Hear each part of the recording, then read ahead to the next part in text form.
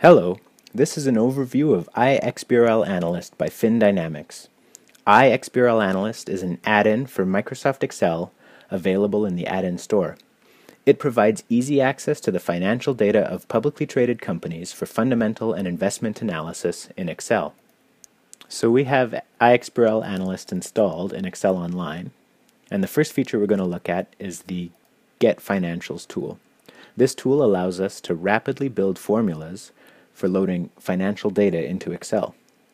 For example, if I were interested in, say, the revenue from 3M, I could search for them in the filter box here, select the company, and click over to our list of normalized financials. Under income statement, I could find revenue, and then down here I'll fill out a recent period that I might be interested in, and click Build Formula. This will build a formula for downloading that information directly into Excel. Normalized financials are great for overviews or for comparing companies, but if we need more detailed information, we can look at the concepts used by 3M on its reports filed to the SEC. So for that, we click over to the Statements tab, and we can select any report that they've filed to the SEC that FinDynamics has in its database, and we have data going back 10 years here.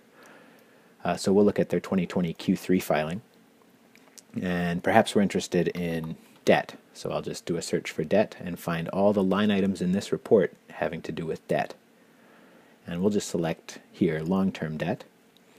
And notice down here that the concept itself is wrapped in curly braces. That's a iXBRL analyst convention for indicating a concept from the report itself. And so I'll put this value in cell A2 and I'll click Build Formula.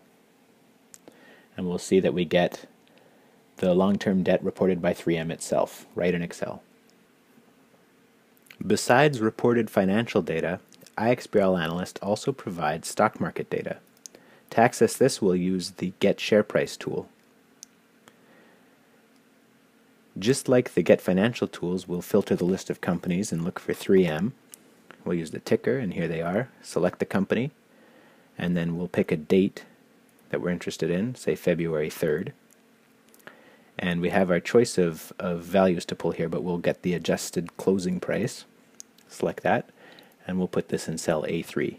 Click Build Formula,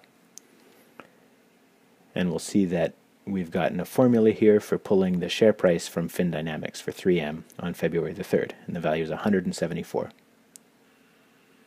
Of course, we can also build these formulas ourselves. For instance, we can use the FinValue function to pull Microsoft's revenue. And if we don't specify a period, we'll just get the most recent revenue submitted to the SEC. And so here it is. And while building formulas this way, if we need help on how to use FinValue, we can click this link right here to open up a detailed description on how to use the function. Besides this, iXBRL Analyst provides a list of example templates to help you get started building more complicated financial models, as well as links to video tutorials, various documentation, and a way to get in touch with us directly.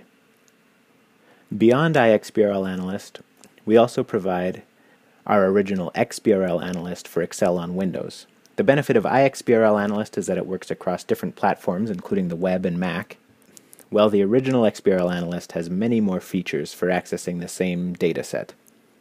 That's it for now. Remember that you can install iXBRL Analyst from Microsoft's add-in store.